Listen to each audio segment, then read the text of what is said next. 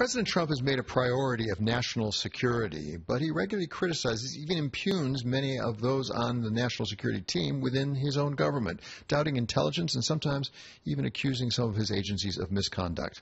Still with us from the first hour of Balance of Power is Louis Freeh. He's former FBI director, and now he is managing director and vice chairman of AlixPartners. So, Mr. Freeh, thank you so much for staying with us. L- let me ask you, as you advise clients, uh, how concerned are they about some of the the divisions within government. Uh, you don't have to worry about those anymore. You're not in the government, but you've got clients that want to figure out what's going on. Sure.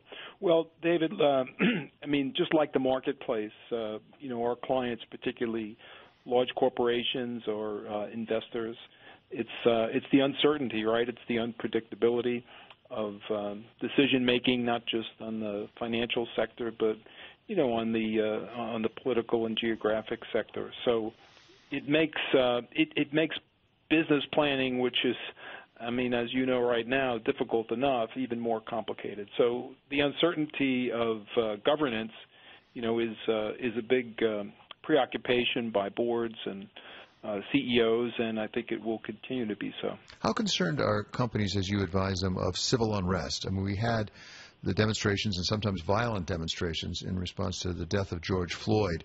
How, how, concerned are companies as they look across the country about continuing unrest, particularly at a time when a lot of people are hurting financially?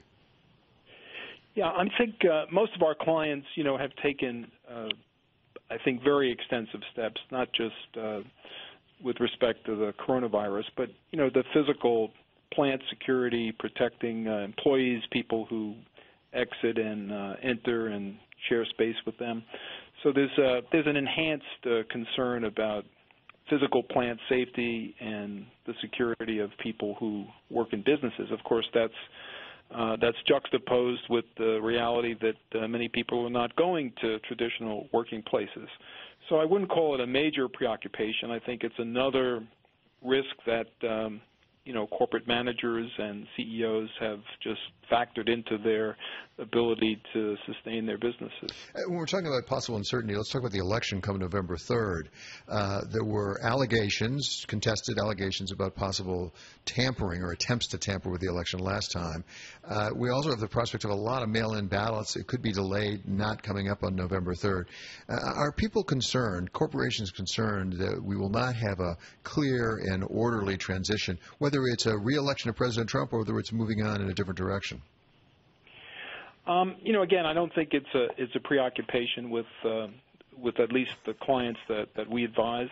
I mean, we went through a, a very uh, uncertain uh, election uh, not too long ago, at least uh, within the memory of most of the people who are still uh, have their hands on the wheel with respect to corporate uh, leadership. Uh, that delay, as you know, was very, very extensive and very uncertain. It went to the Supreme Court to be resolved, where you used to work, and um, you know, I think I don't I don't sense any uh, any extraordinary or excessive uh, concern about that, at least from my clients. Uh, so, if uh, civil unrest is not at the top of the list and concern about the election is not at the top of the list, what is at the top of the list? When people come into your office, what are the things they're most likely to say, I need help with this? Sure. Well, it's a, it's a great question. So, you know, we advise a lot of clients in the area of um, compliance. In other words, having all the internal controls in place, having the compliance program that's state of the art, having the assets, resources, particularly the human resources, you know, who can spot red flags and avoid risks. Um, the downsizing of a lot of companies, you know, is impacting on those budgets. Meanwhile, the risks, you know, are, are rising because the economic um, shutdowns and slowdowns, of course, increase the ability of um, people to commit fraud against companies. Companies start to cut corners because they need to save money. So, one of the main things that our clients are concerned about is, you know, are they having a deficit in terms of the internal controls and the mindset? You know, if people are not worried about red flags in the compliance area because, you know, they have to get back and forth to work uh, in, in a healthy state, it's it's a great distractor for the normal routines of protecting against risk. One, one of the things that AlixPartners uh, particularly is known for may not be exactly what you're spending all your time on, is workouts, is Chapter 11 bankruptcies, things like that. We have a lot of them coming down the pike. It feels like you also were uh, formerly a federal district court judge. Is our bankruptcy system up to what's coming?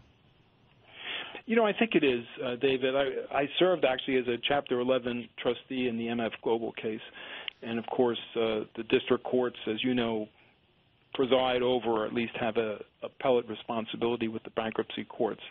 Uh, the bankruptcy courts are always busy. I mean, in Delaware, where I spend a lot of my time now, that's probably the the hallmark. Um, you know, they have the ability to uh, to also expand as uh, as the input and the inflow increase.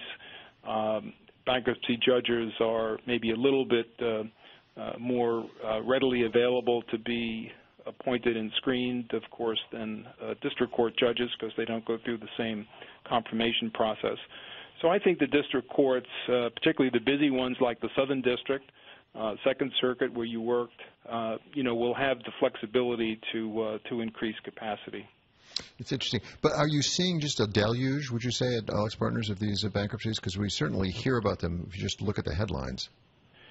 Yeah, I wouldn't call it a deluge. There is clearly a major uh, uptick, and um, you know, luckily, AlixPartners has the uh, the bandwidth to do that. Um, whether that's going to become you know sustained or whether there's going to be an ebb and flow of it uh, we don't we don't know. I don't have enough of the data on that to predict it.